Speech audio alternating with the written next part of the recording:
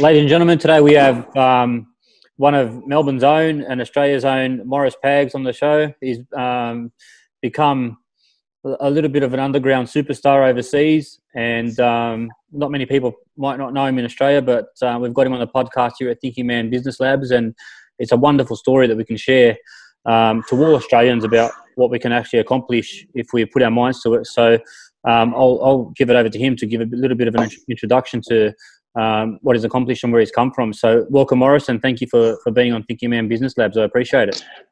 Thanks for having me. Um, my name is Morris Pagniello, uh, Australian born, origin Italian.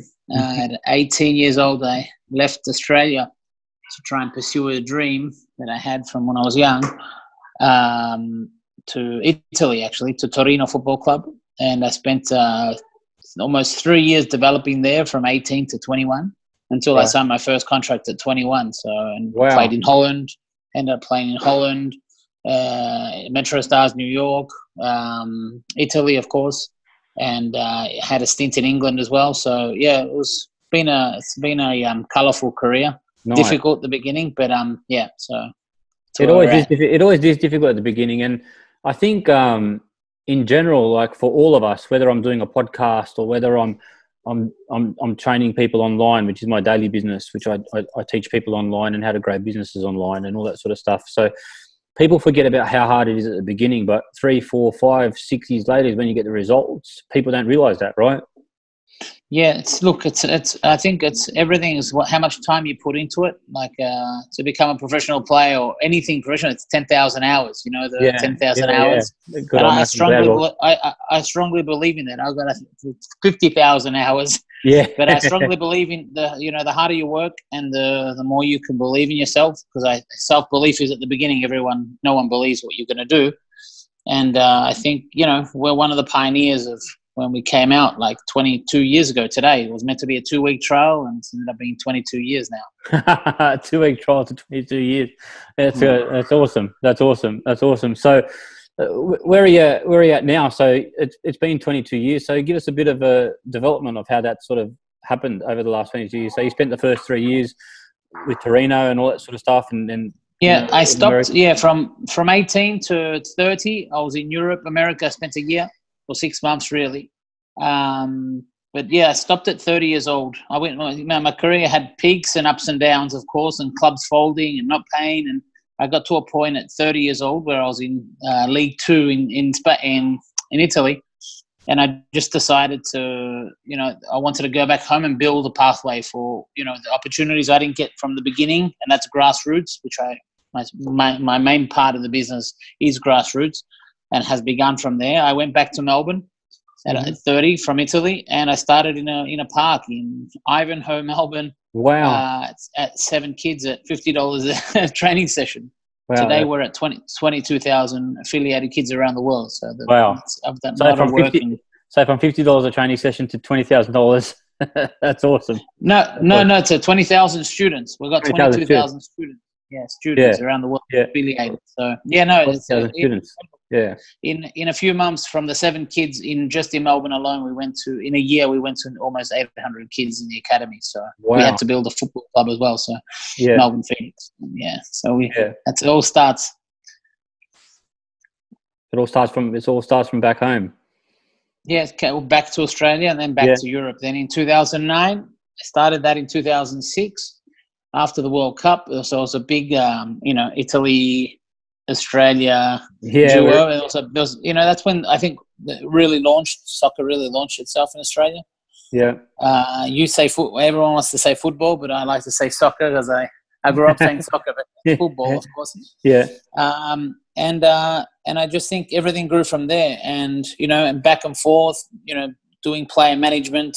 I think I've placed in the last twelve years. I've I think I would have placed around hundred and almost to 100 Australian players at a certain level from semi-pro to pro level that have come wow. through the academy overseas. So yeah, it's an average of 10 players a year. But some years, you know, we end up doing 25 Australian players or, you know, yeah. depends on the, on the, how we are. So we're still, we're still, you know, I'm still pushing from my base is Australia, right? So any Australian player will have my, um, over any other country will get my, if I have to choose a player who's average to a, a, more average player than you know somewhere else, I'll choose the Australian one, of course, especially yeah, for our clubs. So you've, obviously, you've obviously still got the heart back home in Australia and and the growth of Australian football. And there's obviously been a lot of talk, and you you might have seen or you might not have seen some of the stuff that's been on Optus Sport, where Mark Viduka has been starting to talk about some of the stuff of the obviously the golden generation of 2006 with, uh, and they've just they've just re- reconnected with Lucas Neill and all that sort of stuff about talking about how they can they can grow that that grassroots stuff to because it goes back to the you know the the um the, the academy back in Canberra and all that sort of stuff you know back in the day.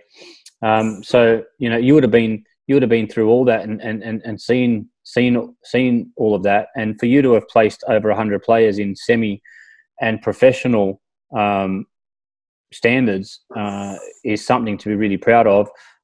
What do you see the difference when you look at some of the Australian programs, and then when you see some of the European European programs that you're involved in? Um, because you've obviously been involved in both in Australia and overseas, so you can you you can come from a place of um, of, of real relevance that can give us a real perspective of what the difference is. What, what do you think are the main differences between between the the, the, the academies and, and the way they train and, and, and, and the way people are taught and the way people learn? Um, look, I think it goes. There's a lot of good coaches in Melbourne, uh, in Australia in general. There are coaches. They're you know they're all up to date with you know you can get everything online now. But yeah. I, I, think it's just um, a culture thing. I think there's a difference. It's always going to be a difference. Football or soccer in Australia is a sport. Yes whereas in Europe it's life. Yeah. So you're you know you're born into hundred thousand seater stadiums and your passion and for your club, and I think you know Australia lost out a lot was not trying to be political, but the A League coming into it and having all these clubs taking away the origins of the ethnic groups or of culture of the sport that we did have in mm-hmm. the old NSL I think that killed and we had started all over again. I think would be at a much higher level if you know we lived the culture. You know, we're a country full of immigrants, yes. and that brought the passion over to Australia. And hundred percent, I think, um, and that's everything: the English, Italians, the Greeks, the Croatians. That's every. I'm talking everyone. No, um, so true. And I, I remember being. That's been. I remember with the Macedonians, Macedonians and and the Greeks. Like it was always there was a passion, you know, but it was one of those things that it brought the best out in in everybody. It was like the match that everybody wanted to see, you know. Of course, and uh, you know, there was rivalry between not be, it was it was a it was a healthy rivalry between yeah. the Italians, the Greeks, the Massos. Yeah, I think um, we're losing that and starting from scratch again put us behind another twenty years. So, and I think still the mentality in Australia is, oh, okay, we train every day, one hour a day or three times a week. It's not enough. Like if we want to be able to compete, we're already far behind. Like step one, like we can come to Spain or Italy, and you see the training methods are different. Like, but it's just the players have an objective, and that's to get to their first team, no matter what level they are. Mm-hmm. Whereas in an M- NPL club that doesn't even have a senior team, there's no ambition. And I think if you're not going to have a, a promotion relegate, you don't have a promotion relegation the football will never grow, especially yeah. in a country like ours. Maybe it has success in the MLS, mm-hmm. but in Australia, you don't have the population no. to to do that. And then you know, there's no you, you finish first all year, and you've you know you spent the most, you played the best, and you still haven't won the league. You still got to do a playoff system. So it's it's really we've tried to copy a system that that doesn't work for us. So if uh, Australia will never grow personally, yeah. uh, at a higher at, an, at, a, at a league level, a competitive level, because you don't look. There are teams that finish last and say, "Oh, wooden spoon," but you know, where's the hold on? If we lose, we lose our jobs, or yeah. you know, so they're not really killing themselves to play. Yeah. So that's the mentality, a different mentality of someone here. It's their job and they live for it. Where it's in Australia, it's still a sport. And if I don't make it and I lose my contract in A League, I'll go and do plumbing or I'll go and do some another other job because there is. Yeah. So you, you have having having too many options, I think, is is not is not a, an advantage either. It's really interesting that you say that because I I watched uh, Mark Viduka, Schwarzer, um, Aloisi, um, Craig Moore, um, and there was a couple other guys there from the 2006, and they were talking about the training and how they went through it and how they were all in Europe at the same time and how they excelled because they were in Europe at the same time. And what you're doing is you're reminiscing pretty much exactly the same what they what they were, what they were saying about about the training and how important it was and the drills they were put through and the amount of hours they had to do and the amount of work that they had to do. And when they went back to the hotel room, they kicked the ball against the wall for three hours before they went to bed and all that all that sort of stuff. And um, yeah. it's actually resonating with exactly what you're saying. So um, there's obviously no disagreement between the elitists here. You know what I mean? Yeah, of course. I, I just think yeah, you're right. There's um, there's also one thing. There's a, there's um, the advantage of being overseas, far away from the family. It means you're living for the sport. Yeah. Where in Australia, you can't live for the sport because you do great two-hour training with any coach in the world in your country, but the moment you walk off that field, your head's not in football anymore. Your head's at schoolwork, uh, your grandma's house, and your friend's birthday, and the family mm. dinner, and the, the relatives coming over. So you're not living this. You're not living, breathing football.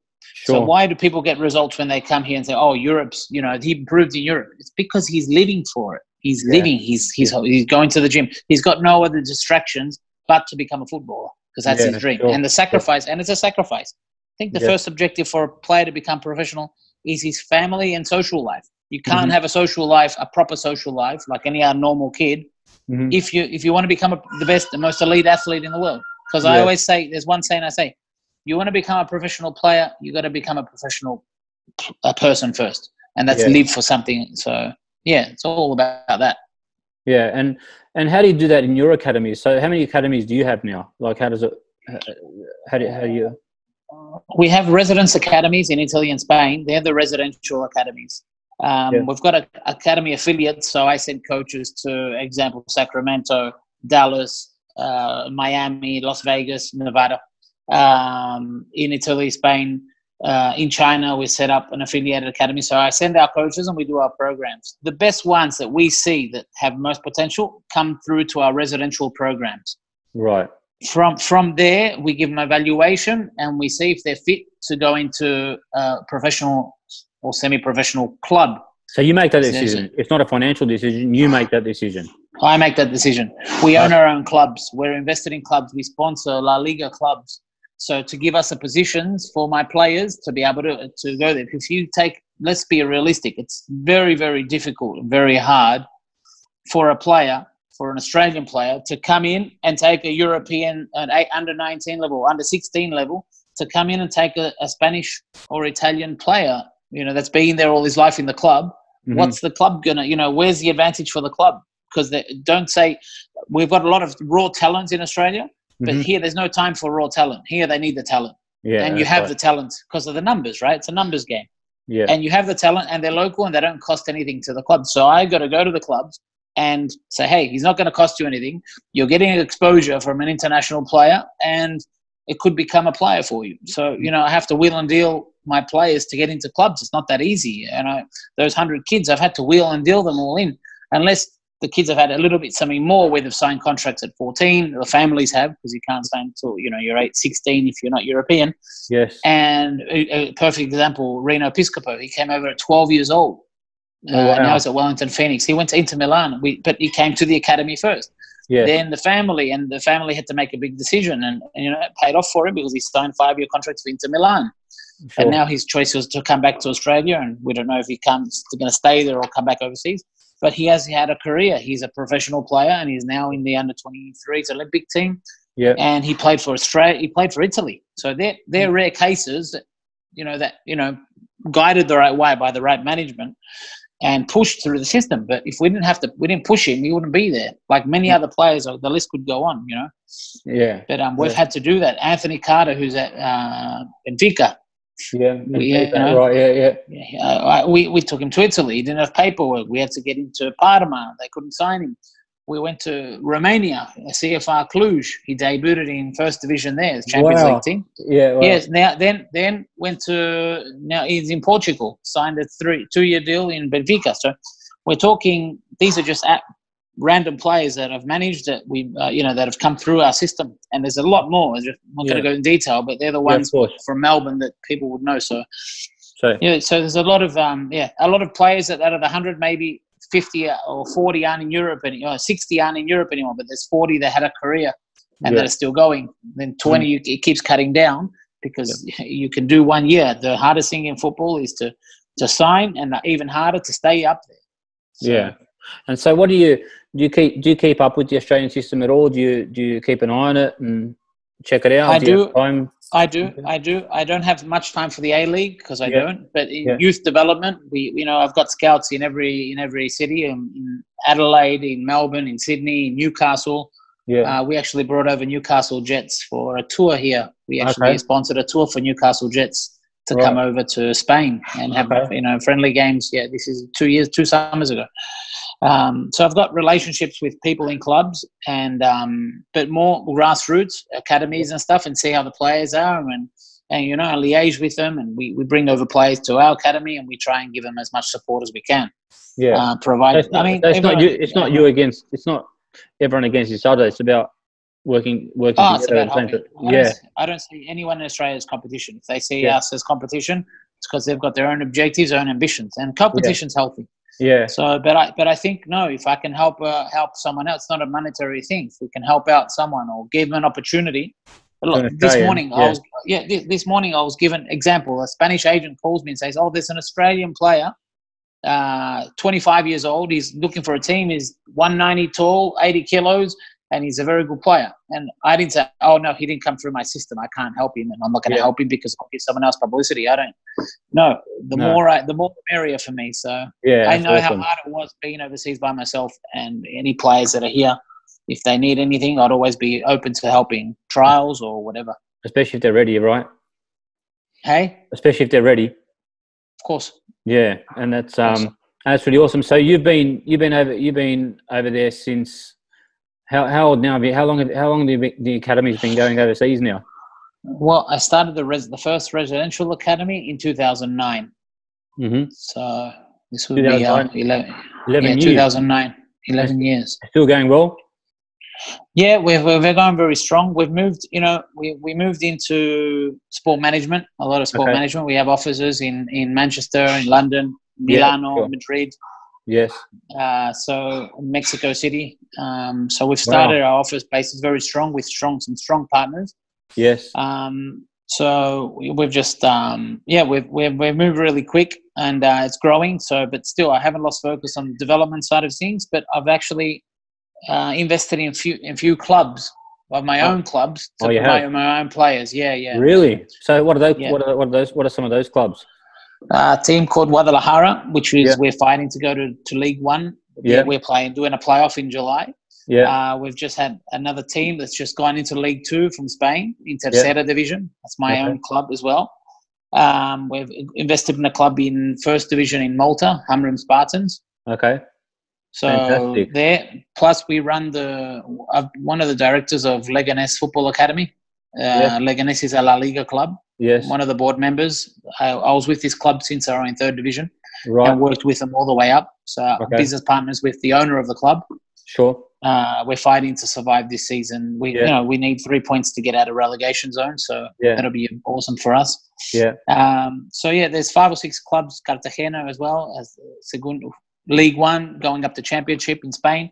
So we've got five or six clubs that all my players, we you know, we try and keep them amongst the, and we've opened up our new our new pro semi pro club in in Sacramento called mm-hmm. Racing Sacramento FC Racing. Okay. Racing is the group we have as well, the club group that goes buying clubs and changing their names to to Racing, which is our, okay. our club. Yeah, so we have we just closed one if Miami Beach Soccer Club as well. So okay. yeah, Racing, yeah, Racing Miami Beach Soccer Club. Nice, so, nice. Yeah, so it's a project where we're enthusiastic about because you know we work within our own pool of players. Apart from the yeah. academy, we're working with our club players, so we own their player rights as well. That's awesome. That's awesome. So, how do you like? Obviously, as a businessman, you've got that many different things. You've got player, you've got player management. You're involved in you're, you're involved in clubs. You're involved in the purchases of clubs or investment in clubs at some sort of level. Um, you're involved in the development of players. How, how do you? How do you, uh, you've got a family, obviously. You, how, how do you juggle all of that? Like seriously, and then still have time to talk to someone like me? You know. Well, I make time for things I like and, yeah. and people that I see that are developing other people to become better. That's I, I make time for that. I don't have much of a social life because my social life is going to have lunch with a director or an agent or an ex-player Yeah. or Yeah, yeah, so sure. no, no no social life uh, Yeah. football fo- football life Yeah, and um, but you know sometimes you just have to make um, make a decision to choose what you want to do and yeah maybe i do have my my hand in too many plates yeah, but sometimes you just got to focus on what you that was to make you focus on what you got to know everything right so i'm sure if your own business you're Yeah. developing people you you know you've had to get to where you are now you've had to do many different types of uh, jobs and and go through experiences so Oh, then I, it's the same for me. It's the same for me. People always say to me, they go, "How many hours do you have in, in a day?" I go, "As many as I need to. I'll, I'll find, I'll find, I'll find a way." You know what I mean? And unfortunately, sometimes that's at, at the sacrifices your your own family or, or or your own time with your own family, and, and that's un, that's unfortunate. But sometimes you're just that focused that you've just got to get what you've got to get done, right? Of course, and when you do get that, then you'll be another objective, and so you just got to make sure you make time for family because that's everything. And I think these last two months have been fantastic for that. Yeah, just bringing have us been. down to earth and saying, "Wow, what if it all end tomorrow? What would we do?" Yeah, so that's it's given true. me, it's been for me, it's been a blessing. I mean, it's been very sad for the deafs, especially in Spain and Italy and around the world in America. But uh, for me, it's been a blessing to be able to be home and not have to worry about, you know, and just worry about making time and and Yeah. making time with my kids, right? So it's been awesome for me. It's been And how, how, how has the last been uh, last two months been for you? Is, it- is, is, is, that, is this the most time you've spent with your family non-stop without traveling? Yeah, this is the most time I've ever had with my family In in like E- for in, in, in, in forever? and forever. Far out. Isn't that crazy? it's- it takes something yeah. like that. That's crazy. eh? It's yeah, I know, I know. It's crazy. But, you know, but but it's, so I will, I will make time for family holidays. I will make time. No, now you know, knowing I will make time for these things because I need them as well. So we're not Yeah. machines, right? no, we're not. We're not machines. No, we're not machines. And and this is what I want to get across to people that there's there is a mix, um, and we've got to make sure we, we handle that mix appro- appropriately. But at the end of the day, your passions are still going to be your passions, and they're always going to they're always going to take over somewhat, aren't they? Well, that's the secret, right? If you Yeah. can find a passion and wo- and get paid for it, it's not Yeah. work, is it? It's not. No, it's no, it's not work at all. It's not work at all. Especially when you help. Especially when you're helping people. Like for me, I help people um, find their dreams, whether it's becoming online and, and doing what they do as an online resource. For you, it's them becoming professional footballers. And there's nothing more, I guess, um, you know, fulfilling for me when I see one of my students become successful. It's exactly the same for you. When you see one of your players become successful, it, it, monetary side aside, it must be really gratifying.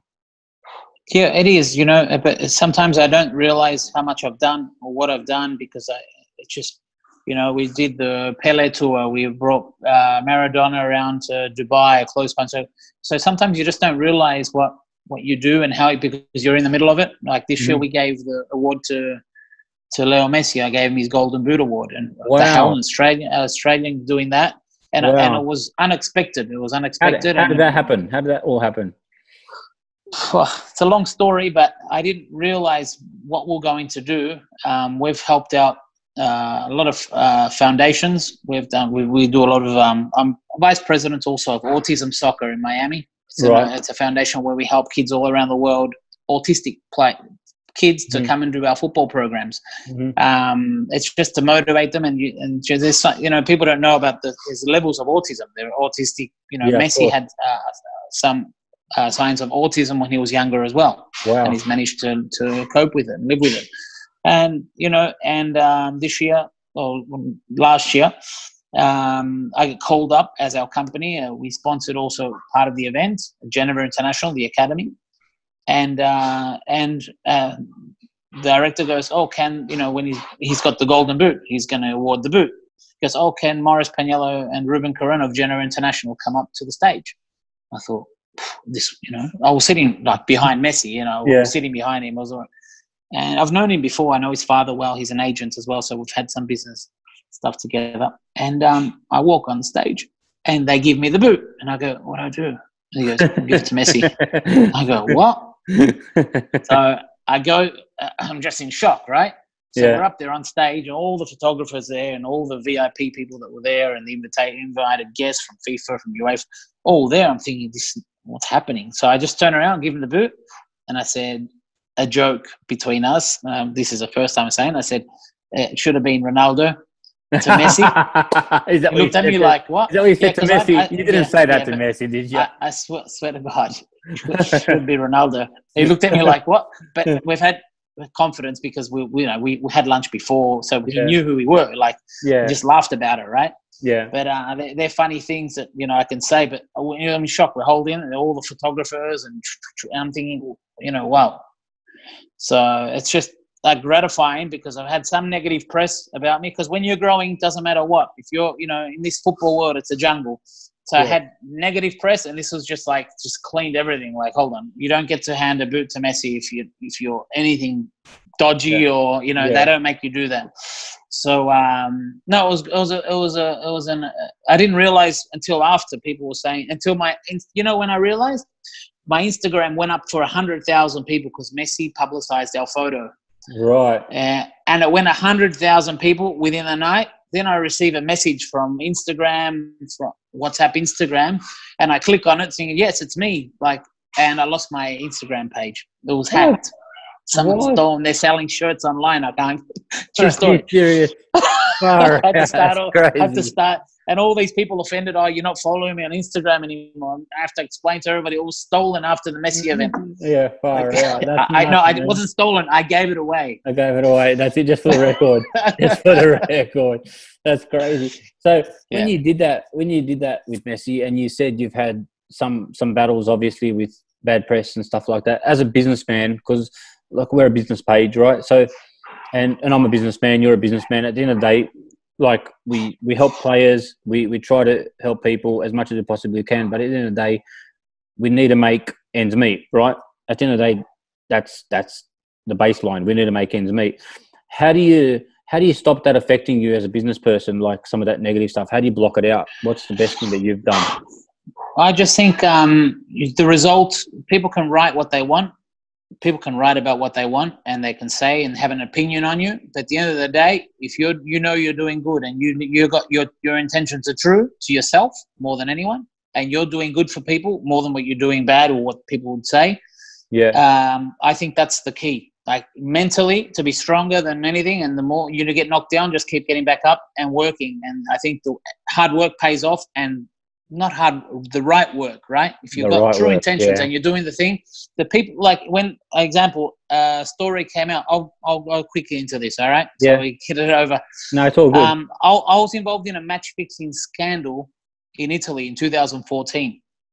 In 2014, what I'd done, uh, I was I put my present today. The club's called Monza Football Club. It's owned by Berlusconi. right? Right, Ber- Berlusconi the old, Yeah, you know, yeah. Prime minister of Italy, owner of Milan. Today, it's owned by him. I saw his vision, what he had. I saw it before him, and we got the club before him. The problem was the the owner uh, disappeared, and we got stuck with the club on our hands for a few months. And what happened? Uh, we got approached by Wow. investors Yeah, investors. And uh, well, the thing's over. Never went to court. Never. It was just speculation, right? There was an investigation. I had to go and say yes. This is what happened. They offered us money to to buy one of our games.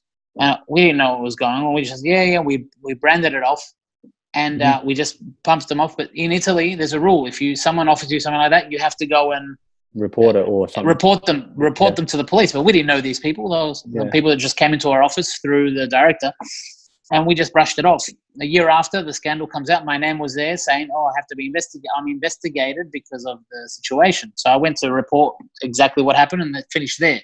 But the newspapers and when we do have success buying clubs or selling a player or whatever mm-hmm. newspapers say oh but in 2014 he was accused of knowing of a match fixing scandal.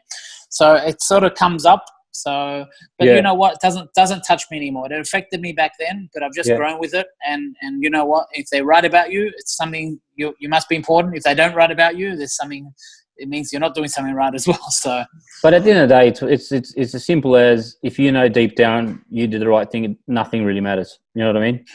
Of course, of course. And if it doesn't come up and you've you know you're clean, like you're clean. And you know Yeah. what? The president of, of Barcelona, the president of, of Real Madrid, I wouldn't be having lunches and dinners with these people if mm. anything was true, but anything was true, but all what they were writing, you know. So sure. the people that I work with and the players and everything, that doesn't affect me. You know, it can affect the competition because I will try and use that against us. But we're, you know, we're the strongest at the moment, and we're, we're yeah. getting results. So good on you. Doesn't, yeah. That's that's awesome to hear someone bounce back from something like that because that could end people. Really, it could end some people you know, people have taken their lives. People have been, you know, gone into depression, never heard of again. And, you know, I don't, yeah. So, yeah, knowing the truth, you don't, doesn't affect you, right? Yeah. It affects right. you, you know. Some investors might want to see, and you have to just say, hey, look, it's clean everywhere. You know, this is just, you know, but, you know, that's life and just have to deal with it. And agents don't have a, bit, a, clean name anyway. So, and I've become an agent. Right?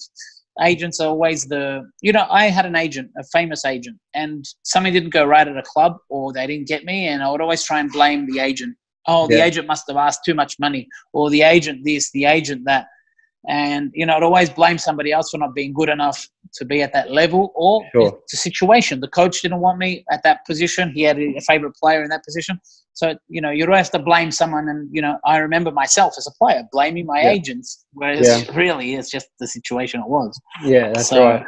Yeah, no, no, that's, that's, that's, that's, that's really great to hear. And it's, it's, it's really great to hear an Australian doing really well overseas and, and, and flourishing. And like I said, we've got, we've got mutual friends like Pat and all that sort of stuff that we know well, in Australia. Yeah, Pat, I want to thank Pat Mesiti because he was my mentor. I, I, you know, live in Australia, I, 22 years ago, I had four of his books yeah, with right. me, and that will keep me motivated. All his quotes would just keep me motivated. And uh, really, uh, I would write that. Yeah, yeah, I swear to God, I, still, I think I still got those books somewhere in some house. Yeah. But uh, it's fantastic, you know. Yeah. And uh, he's my he's my mentor. So he's oh, one of the mentors who helped me. Him and Craig Johnson were my my two inspirations over here, keeping me positive. Right. That's so. amazing. That's, that's that's amazing. That's amazing to hear.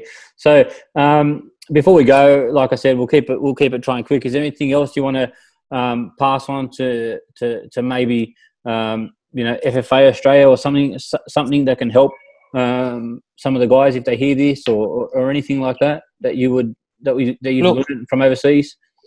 I just think football is a business, so you need mm-hmm. business mm-hmm. people to run the administration side of things, but you need football people to run the football departments. Yeah. So there's no point, no offense to anyone, a person from rugby coming into football and trying to do football things where there's a whole different, it's just a whole different ball game, right? Mm-hmm. Even the balls are even different color uh, uh, sizes.